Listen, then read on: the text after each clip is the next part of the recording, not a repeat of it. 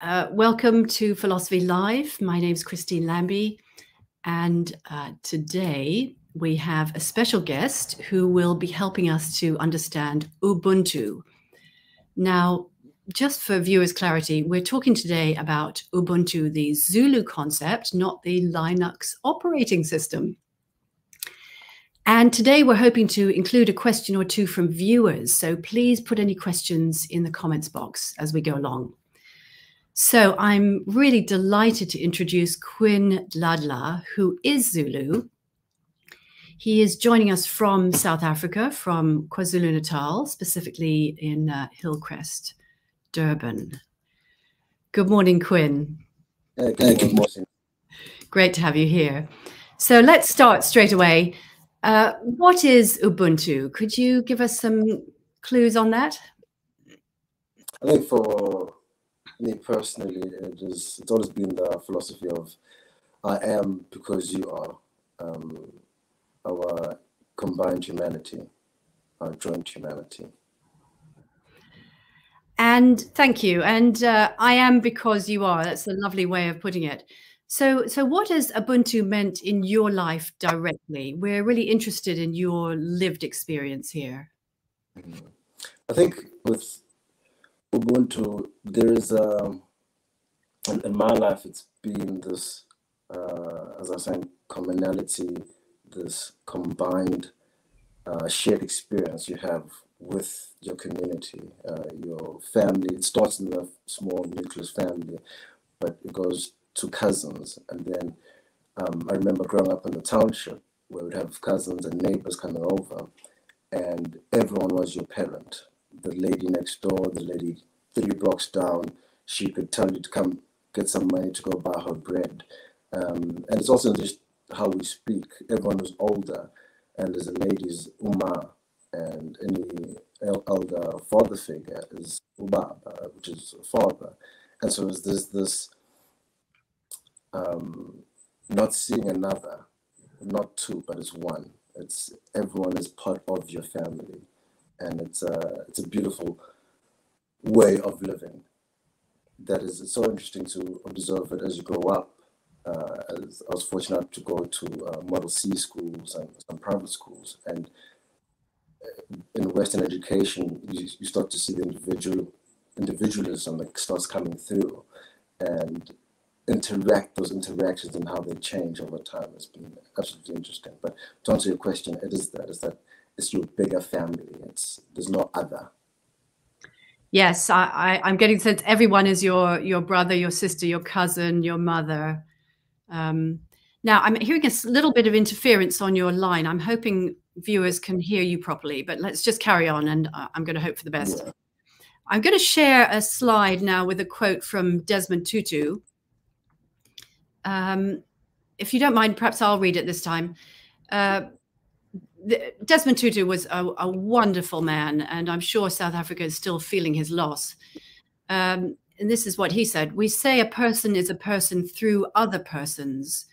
We don't come fully formed into the world.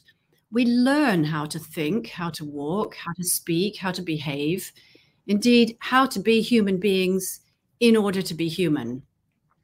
We are made for togetherness, we are made for family, for fellowship to exist in a tender network of interdependence. Yes. W would you have any comment on that?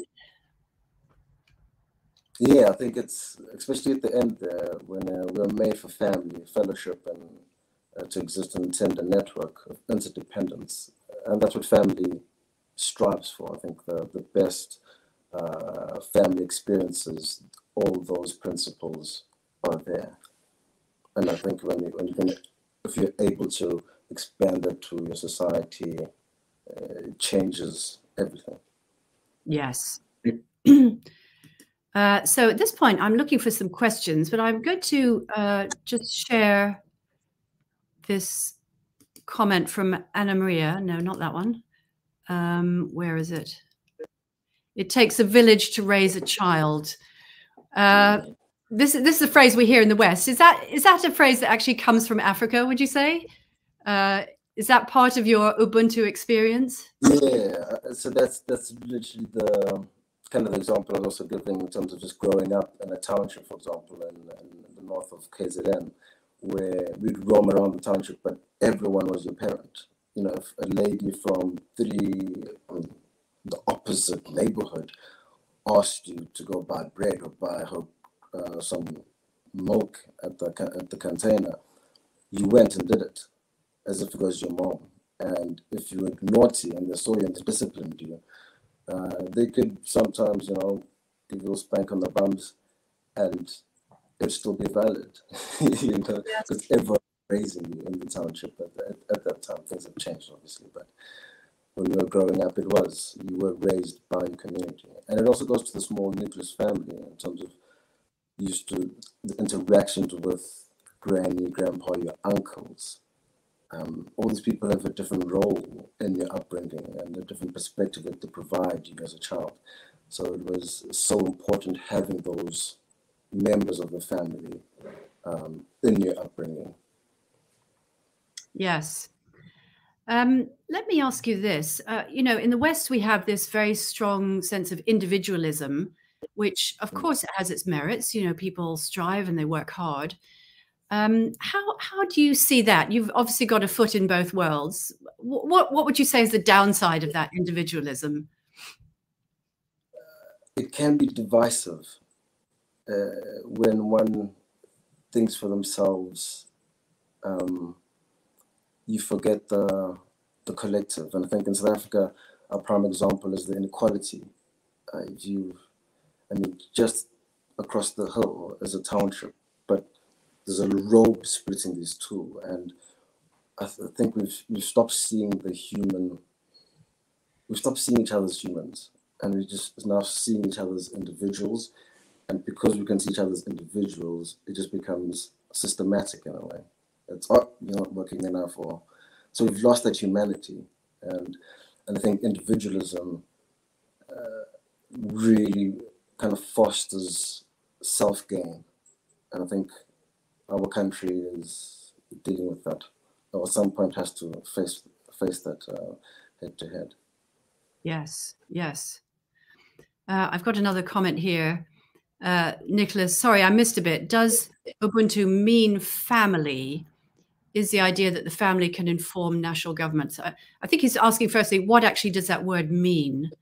Um, yeah, if you were to translate. It's the direct translation is, I think the best closest translation would be humanity. Ubuntu. Because uh, Umuntu is a person, is a, or a human. Mm -hmm. So it is uh, humanity and I think to answer his question, to govern can inform national governance. I think it should be the key pillar of governance is that what is the human experience, the collective human experience, uh, not necessarily the financial gain experience or, or whatever the, it may be at the moment. But yeah, in simple, if that makes sense. Sure. And uh, let me see here's another question from Graham. As a child, did Qin's family speak about Ubuntu, or was it just something you discovered as essential to relationships? Was it something really promulgated, or was it just it's there? That's how you grow up. It's how you grow up. so it was not a not a philosophy; it's just a way of life, and we still have it. There's still many um, aspects of it we still have today and, and just how we deal with each other and how we interact. Um, if I'm at the store with a totally random person next to me, I'll, I'll be like, oh, boot or bafo, which is a term of endearment, is like, oh, brother. Um, and there's an openness and communication. If I think if anyone has been to South Africa, you'll, you'll find that we are, it's so easy to, to speak to anyone because there's this underlying Ubuntu. I would definitely agree with that. I, have been to South Africa many times, and my perception is you make friends very, very quickly. You know, you're you're very close instantaneously, really. And it hadn't occurred to me that that was because of this concept just running through the whole society, no matter what race you come from. It, it's it's just present, isn't it? Really. Yeah. Uh, Okay, well, um, I'm going to ask you one final question. If you know, with your experience at West and uh, Africa, South Africa, particularly, what if you were to give us in the sort of more Western countries one piece of advice to kind of realize this beautiful concept? What would you say?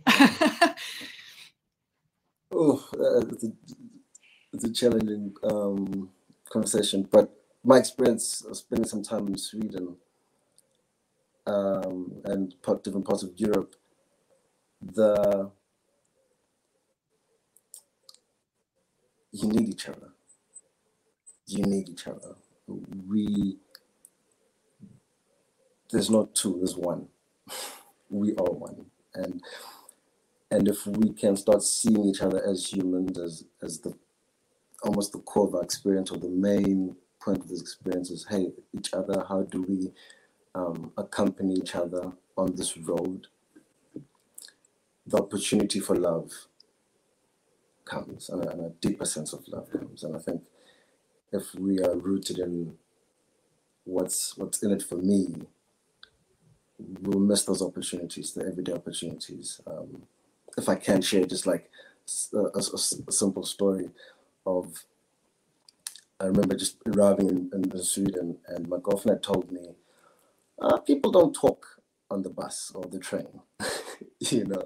And being a South African, you wanna, it's it's almost rude if you don't greet the person next to you. You make eye contact and you don't greet them. It's just it's almost rude. And so I come with that naiveness, and here I'm Scandinavian. I'm greeting everyone, and everyone's like, "Oh, who's this guy? Do I know this person?" What was amazing was after a month, I also started not greeting. But what I started also did notice was when I was doing it, example, at the till, and the lady would always be confused. But if I persisted, it's almost like they came alive. There's this, and there's no interaction all of a sudden.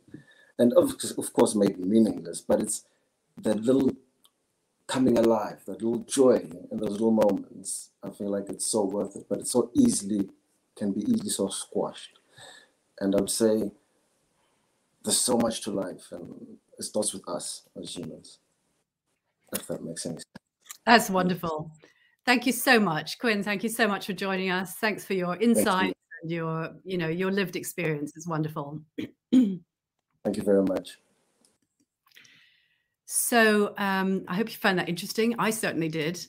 Um, final thought on Ubuntu for today. I'll, I'll, leave it with what Qin has said. Uh, we need each other. I am because you are. So if you've enjoyed this video, please like it and share it. And uh, next week, join us again for Philosophy Live, 8.30 a.m. UK, where you will meet my colleague, Graham Blackburn. Thank you so much. Have a great day.